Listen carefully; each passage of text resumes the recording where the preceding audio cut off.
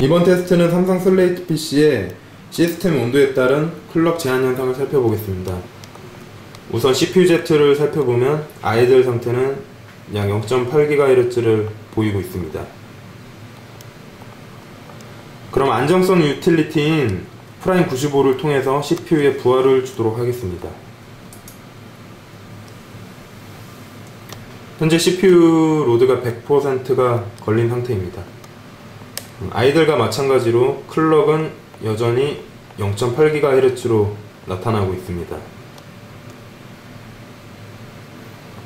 그에 따른 시스템 CPU 온도는 지금 약 60도를 넘어가고 있는 모습이고요. 마찬가지로 지금 약 0.8GHz에서 고정이 되고 있는 모습입니다. 슬레이트 PC에 사용된 샌드브리지 i5 2467 모바일 CPU의 경우 1.6GHz를 지원하는 CPU인데 지금 보시면은 0.8GHz에서 고정이 되어진 모습입니다. 그럼 이번에는 시스템 온도를 낮추기 위해서 에카 질소를 한번 투여하도록 하겠습니다.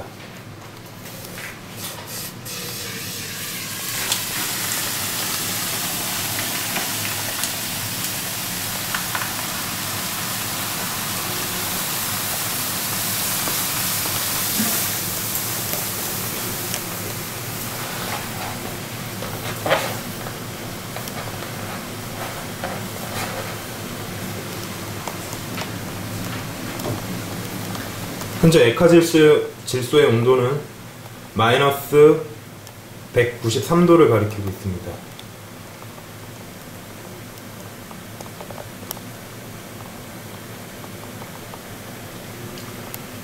아직까지는 온, 온도에 큰 변화가 없, 없어서 아직까지는 0.8GHz를 보이고 있는 모습입니다. 현재 온도가 점점 낮아지고 있는데 온도에 따라서 클럭 변, 클럭이 변하는지 살펴보도록 하겠습니다.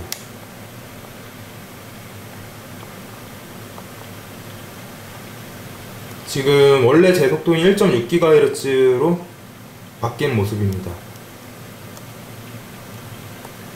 이제 온도는 점점 낮아지고 있고요.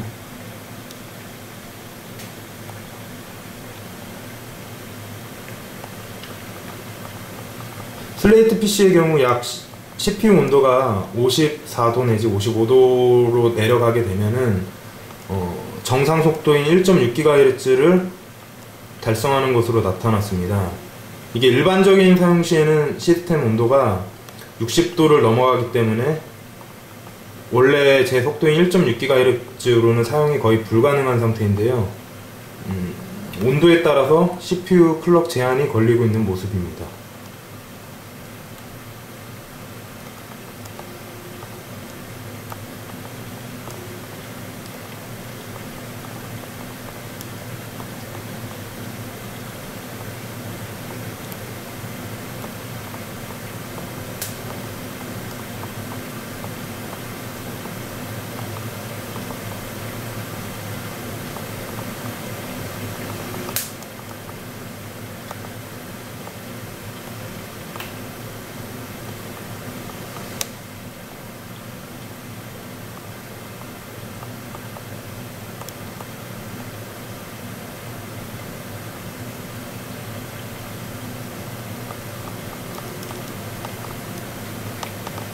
이상으로 테스트를 종료하겠습니다.